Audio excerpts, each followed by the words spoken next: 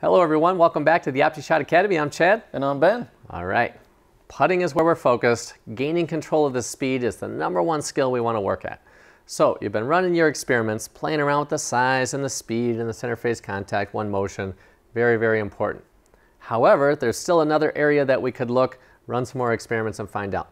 So Ben, tell us about shaft lean with the putter and how that will influence the speed that the ball goes. Yeah, so the experiment we're going to run today is we're going to play around with different amounts of shaft lean.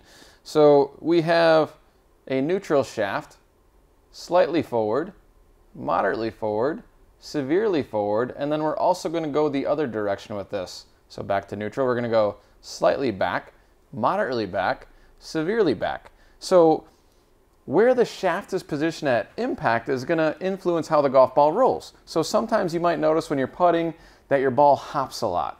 If you're not putting with the proper loft on the putter, that's what you're going to see. And when the ball's hopping, it's very unpredictable. It's hard to control distance that way. So we need to run this experiment to see what's going to allow the ball to roll the best for us. Got it. So what I heard was loft. You know, it could launch the ball too high or too low, and make it bounce or make Yep. it roll. So the lean of the shaft affects the loft of the putter face. Is that true? That is true. So like the loft of the irons, even the putter has loft on it. That matters too. That yeah, matters so, too.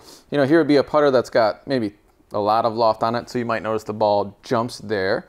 Or if the putter is what we call is de-lofted too much, sometimes what happens is if you notice the face of the putter is kind of turned down towards the ground, so when you hit a putt like that, you're pounding the ball into the turf and it hop, hop, hop, and then it starts to roll. So all this hopping is bad for speed control. Oh, it's brutal. Got it. So at the academy, one of the experiments that we run that seems to like, especially for for better players, guys who are shooting in the low 80s, the shaft lean experiment seems to have the most profound impact on them. So, having said that, let's see where we go. Here so we go. what are you going to do first? Uh, let's just, let's start with uh, severely back. Like so way back? Yeah. So something a little outside of the box, right? So here we go. Severely back with a shaft. So you're going to start with the severely back shaft, and then through the ball, you're going to try to make it lean severely back as well. Oh yeah. Do you think it? Well, let's see what happens. I don't know what's going to happen.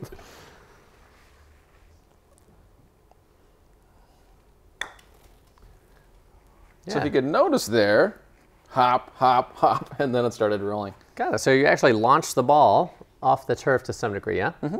Okay, so I would like, you know, I'm curious now. I would like to see what happens to your ball when you go severely forward. Might see some bouncing here too, right? Well, you Or never, know, you never know. Yeah. So at home, you might actually hit it solid. So here's my severely forward. This is the experiment I'm running this time. whoa, that's severe. That is severe.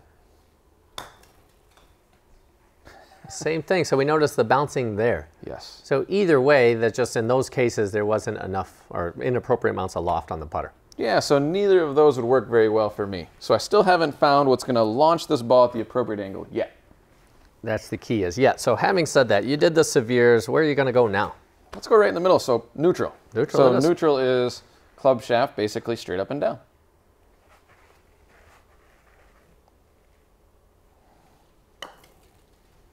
Still bouncing. Still bouncing, getting closer. Yeah, so still bouncing. So it, right in the middle, we would think maybe, man, this will be the right one, but it, the ball is the teacher. It's, it's letting us know we're not there yet. Mm-hmm. Fair?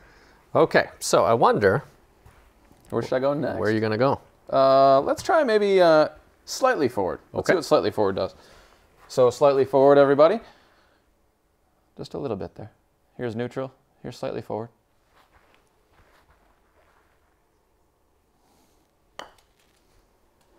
That one sounded the most solid to me. Did you Yeah. like the way that felt? Uh, felt solid, and then it looked to me that initially it rolled pretty well. Now there's a drop down from our, our mat here that it made it appear to be bouncing, but the initial roll there was, I thought was pretty good. Yeah, that's what it looked like to me. Yeah.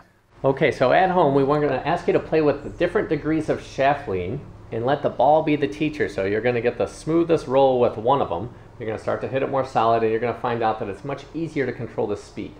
So play around with the shaft lean idea this week at home. Get out on the green, see what happens, and we'll look forward to seeing you the next time at the OptiShot Academy.